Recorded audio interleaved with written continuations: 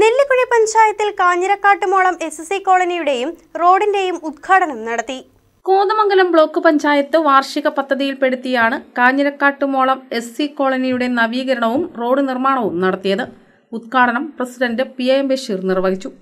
രണ്ടായിരത്തി ഇരുപത്തിരണ്ട് ഇരുപത്തിമൂന്ന് വാർഷിക പദ്ധതിയിൽ ഉൾപ്പെടുത്തി കാഞ്ഞിരക്കാട്ടുമോളം എസ് സി കോളനിയുടെ നവീകരണവും അതോടൊപ്പം തന്നെ ഇവിടെയുള്ള രണ്ട് റോഡുകളുടെ പൂർത്തീകരിച്ച റോഡുകളുടെ ഉദ്ഘാടനവുമാണ് നടന്നിട്ടുള്ളത്. കോതമംഗലം ബ്ലോക്ക് പഞ്ചായത്തിന്റെ ചെറുവട്ടൂർ ഡിവിഷനിൽ ഏകദേശം ഏഴ് ഏഴോളം എസ് സി കോളനികളാണുള്ളത്.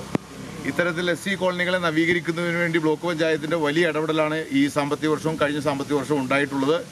വരും കാലങ്ങളിൽ ബ്ലോക്ക് പഞ്ചായത്ത് ഈ ബ്ലോക്ക് പഞ്ചായത്തിന്റെ പരിധിയിലുള്ള മുഴുവൻ എസ് സി കോളനികളെയും നവീകരിക്കുന്നതിനും അതോടൊപ്പം തന്നെ അടിസ്ഥാന സൗകര്യ വികസനത്തിനും വേണ്ടിയുള്ള വലിയ ഇടപെടൽ നടത്തും.